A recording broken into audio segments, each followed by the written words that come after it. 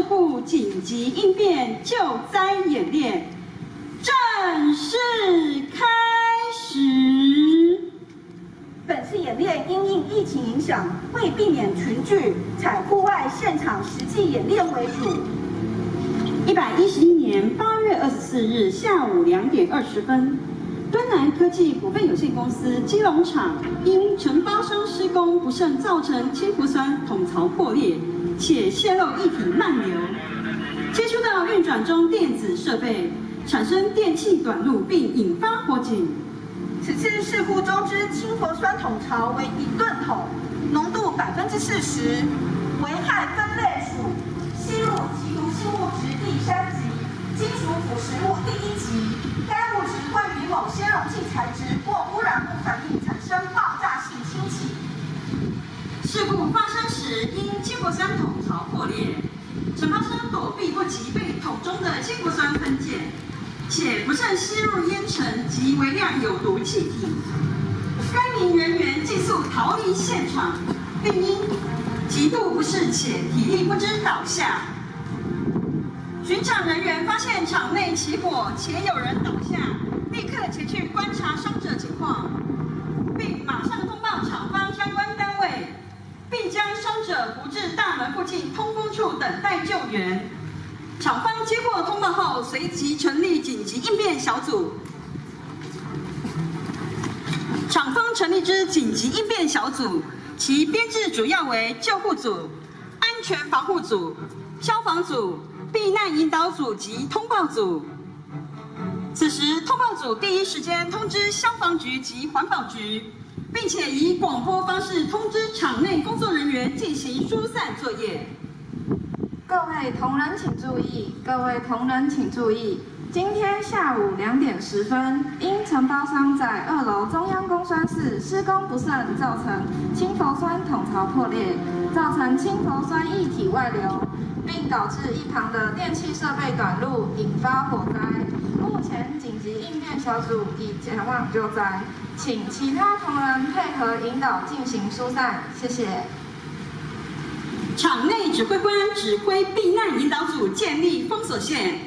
消防组立即着装布设吸印所、水线及架设除污棚，并依据紧急应变指南 ERG，针对化学品独立指标划分冷热区域。避难引导组负责记录进入封锁线之人员姓名及进出时间。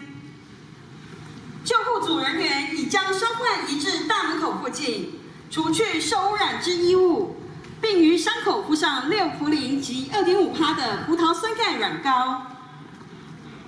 安全防护组人员待火势趋缓后，进行冷热区划分，同时喷洒氯化钙与泄漏至地面的氢氟酸进行酸碱中和，并铺设吸液棉，以降低后续清理作业风险。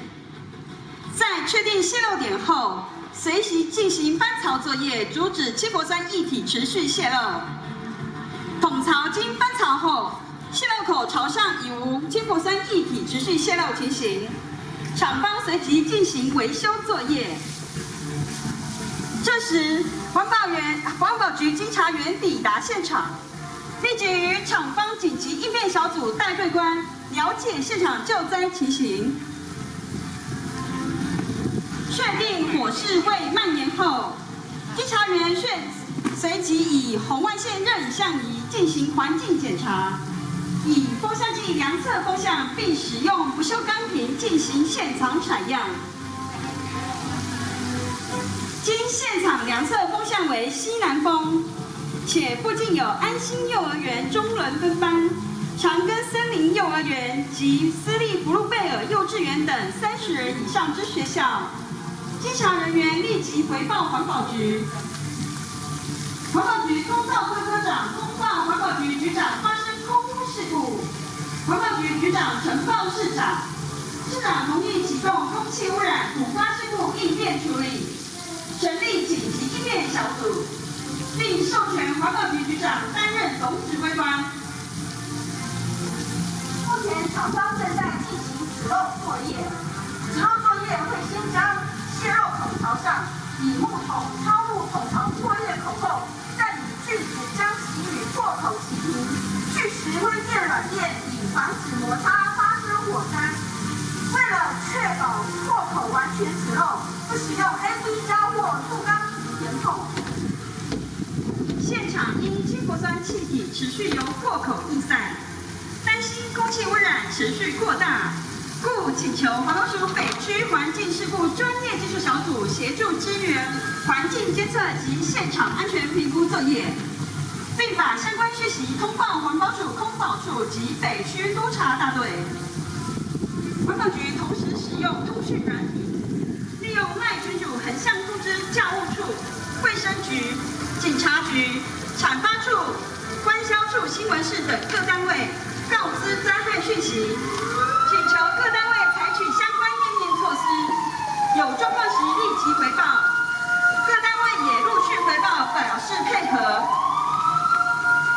警车这时也到达现场，并于厂方大门口实施现场安全维护及交通管制。此时，消防局救护车及消防车也紧急抵达现场。消防局人员与端南科技股份有限公司基隆厂之紧急应变小组带队官了解事故现场情况后，立即设置水线进行洒水防护。氢氟酸吸入时会刺激鼻、咽、眼及呼吸道，高浓度蒸汽会严重灼伤唇、口、咽及肺部。五十 ppm 浓度下，暴露数分钟即可能致死。皮肤接触到浓度不高的气体或无水液体时，数小时后可能会产生疼痛难忍的深度皮肤灼伤。发生氢氟酸泄漏时，应以水雾进行处理，降低空气中的蒸汽浓度。此时，救护人员已将受伤人员抬上担架，并且送至医疗院所进行治疗。局空造科科长抵达现场后，立即与环保局稽查员及敦南科技股份有限公司基隆厂应变小组现场指挥官进行了解现况，随即成立现场指挥所，并担任现场指挥官。现场目前风向为西南风，指挥中心设立于上风处。环保署北区环境事故专业技术小组抵达现场，即前往现场指挥所报告所携带之监测设备，并成立环境监测组，陆续向现场指挥官呈报相关环境监测资讯。因在敦南科技股份有限公司基隆厂紧急应变小组及消防局的抢修下，现场火势及氢氟酸泄漏控制，且评估环保署空气品质监测站及临近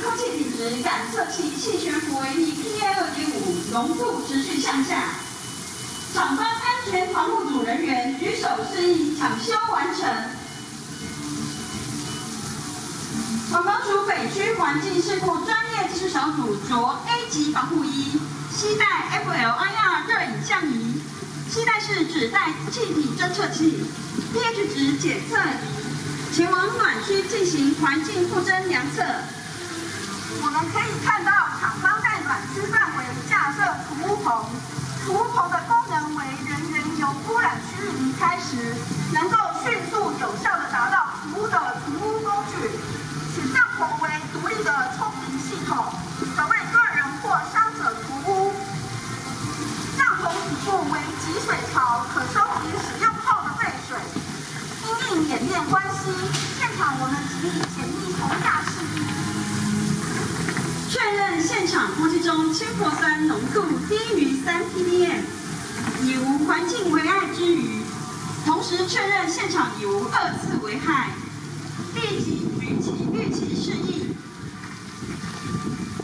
环保署北区环境事故专业技术小组在连续监测确认现场环境危害无虞后，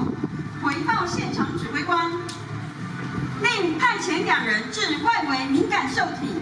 安心幼儿园、长庚幼儿园及布鲁贝尔幼儿园等地点进行环境检测。此时，现场指挥官宣布状况解除，并回报总指挥官。环保局也同时联络相关单位，状况解除。端南科技股份有限公司基隆厂立即进行灾后复原作业，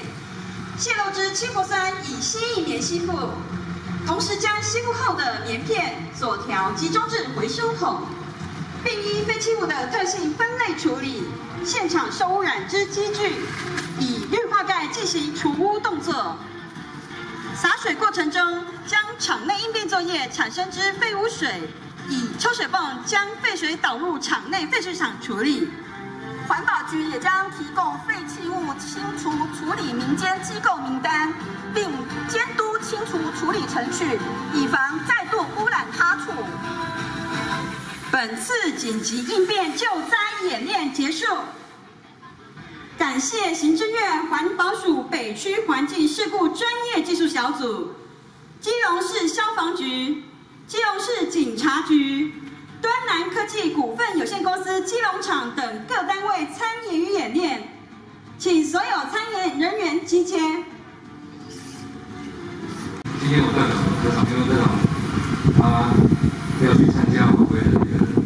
一个一个视察会，那特别招待我跟大家来说声抱歉。那我今天也看到各位非常的一个坚实的演练，那因为天气非常热，我就各单位不一一介绍。那在这里再次感谢参与的单位来做这样的一个演练，整个演练能够达到一个圆满的一个结果。那在此再跟各位来做一个最大的致谢。那我们今天的演练就到此为止，好，谢谢各位。